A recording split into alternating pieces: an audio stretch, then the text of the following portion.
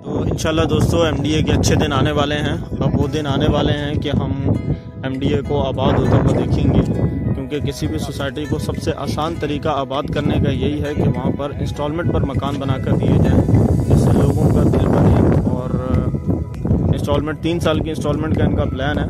बाकी वो सारा जो चीज़ें हैं वो सामने आ जाएँगी। तो इस बारे में राघव भाई इसी भी राय